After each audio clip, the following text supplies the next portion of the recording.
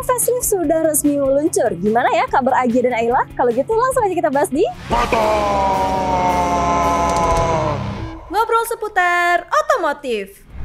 Halo Sobat Oto, welcome back to Total Project YouTube channel. Balik lagi sama di sini. Nah, Sahabat Oto, PT Honda Prospect Motor atau HPM itu telah resmi meluncurkan Brio facelift pada tanggal 5 Mei 2023 lalu. Itu artinya baru-baru aja nih Sahabat Oto. Nah, kemunculan Brio facelift ini yang rasanya tidak sulit untuk menimbulkan dugaan bahwa ini merupakan langkah untuk menjegal momentum dari Agia dan Ayla yang juga baru rilis pada Maret 2023 lalu. Gimana nih menurut kalian? Tapi uh, meskipun nggak berstatus all new seperti Agia dan Ayla, Honda sangat yakin ataupun optimis bahwa Brio Facelift ini akan tetap diterima oleh masyarakat Indonesia.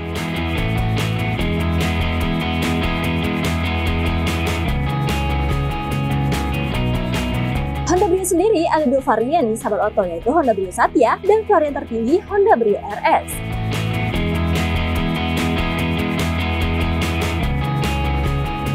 Pada Honda Brio Satya ada beberapa penyegaran lewat front front grille, 14 in two tone alloy wheels, desain hingga grey interior color.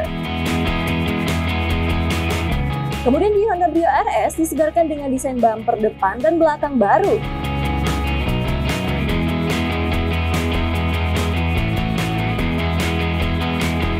Dan LED headlight with LED daytime running light. Honda juga menyematkan new power retractable black door mirror dengan LED turning signal, smoke rear combi lamp, felt 15 inch dengan sentuhan dark chrome, serta new smart entry system.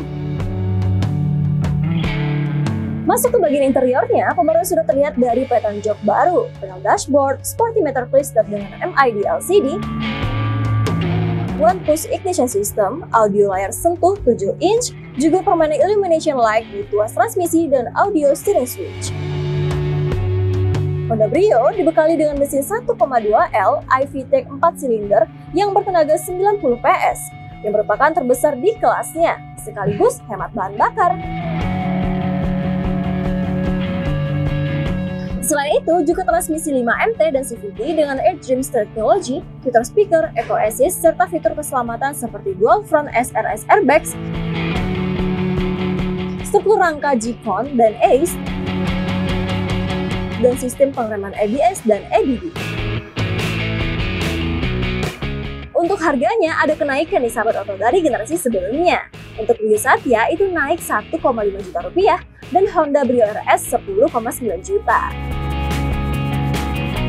Ada beberapa pilihan warna untuk Honda Brio Satya yaitu Rally Red dan Tavita White dan Honda Brio RS yaitu Phoenix Orange Pearl dan Stellar White Pearl. Kemudian warna Crystal Black Pearl, Meteorite Grey Metallic, dan Electric Lime Metallic tersedia untuk semua tipe. Kalian dapat memilih Honda Brio dengan berbagai tipe dan harga yang berbeda nih sahabat oto. Tipe terendah yaitu New Honda Brio Satya SMT dijual dengan harga 165.900.000. Tipe yang EMT dijual dengan harga 180.600.000 dan tipe SCVT dijual dengan harga 191.900.000. Sedangkan untuk tipe yang lebih canggih yaitu New Honda Brio RS MT dijual dengan harga 233.900.000 dan tipe RS CVT dijual dengan harga 243.900.000.